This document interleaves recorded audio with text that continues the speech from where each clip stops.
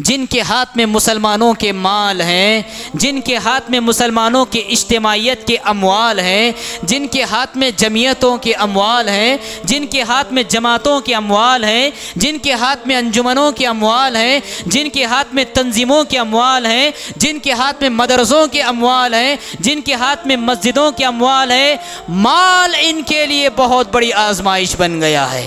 माल इनके लिए बहुत बड़ा इम्तिहान बहुत बड़ा फितना बन गया कि रसूल सल्लल्लाहु अलैहि वसल्लम ने एक हदीस में इरशाद फरमाया इन लिकुल्ली उम्मतिन फितना, व फितनत उम्मती अलमाल.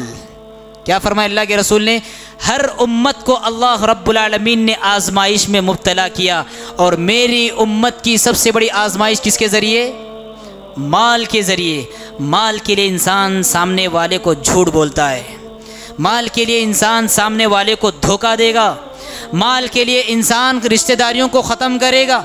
माल के लिए इंसान लड़ेगा भिड़ेगा लड़ाई करेगा माल के लिए इंसान पुरानी दोस्तियों को ख़त्म करेगा माल के लिए इंसान अपने बहनों को हक़ मीरास से महरूम करेगा माल के लिए इंसान अपने वालदेन को तक कुर्बान करेगा माल के लिए इंसान इंसानी जान को लेने लेने तक भी दर, दरीग नहीं करेगा।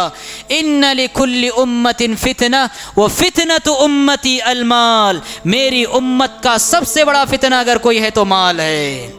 आज ज़माने का रुख देखकर हमको अंदाज़ा होता है कि ज़माना जिस डगर पर जा रहा है और इंसानियत का रुझान जिस तरफ़ हो रहा है, इसको देखकर अंदाज़ा लगता है कि आज इंसान वही सबसे बड़ा दीनदार है जो जितना ज़्यादा गरीब है, नादार है, फ़कीर है। वरना जिनके हाथ में अमवाल हैं जिनके हाथ में मुसलमानों के माल हैं, जिनके हाथ में मुसलमानों के इज्तमाहीत के अमवाल हैं, जिनके हाथ में जमीयतों के अमवाल हैं, जिनके हाथ में जमातों के अमवाल हैं, जिनके हाथ में अंजुमनों के अमवाल हैं, जिनके हाथ में तंजीमों के अमवाल हैं, जिनके हाथ में मदरसों के अमवाल हैं, जिनके हाथ में मस्जिदों के अमवाल हैं, माल इनके लिए बहुत बड़ी आजमाइश बन गया है। माल इनके लिए बहुत बड़ा इम्तिहान, बहुत बड़ा फितना बन गया है। लिहाजा ख़ास तौर पे तीन बातों को याद रखने की ज़रूरत है। सबसे पहली बात यह है, अगर हम माल के फितने से, दुनिया के फितने से बचना चाहते हैं, जितना हो सके कर्ज लेने की मुसीबत से अपने आप को बचा के रखें। जितना हो सके कर्ज लेने से अपने आप को बचा, कर्ज दें आप, कर्ज दें, बड़ी फजीलत है कर्ज देने की, लेकिन लेने के मामले में जितना बच सकते हैं, बच जाइए आप। पहली बात ये। दूसरी बात ये है कि दूसरों के माल और दौलत से अपने मकासद मुकम्मल करने की आर्जू ना रखें। मेरे कुछ प्लानिंग हैं, मेरे कुछ मंसूबे हैं, मुझे मुकम्मल करना है, दूसरों के माल पर मेरी नज़र नहीं रहना। दूसरों के अमवाल और दौलत को लेकर मैं अपनी मंसूबे मुकम्मल करूँ, मेरी ये फ़िक्र ना हो। दूसरी बात ये, और तीसरी बात ये है कि उम्मत के इज्तमाही अमवाल की ज़िम्मेदारी हम ना उठाएँ। हमारे जेब उम्मत की इज्तमाहीत के अमवाल से दूर रहें। हमारी घर की तिजोरी उम्मत के इज्तमाही अमवाल से दूर रहे। जितना उम्मत के इज्तमाही अमवाल से मैं अपने आप को बचाऊँगा।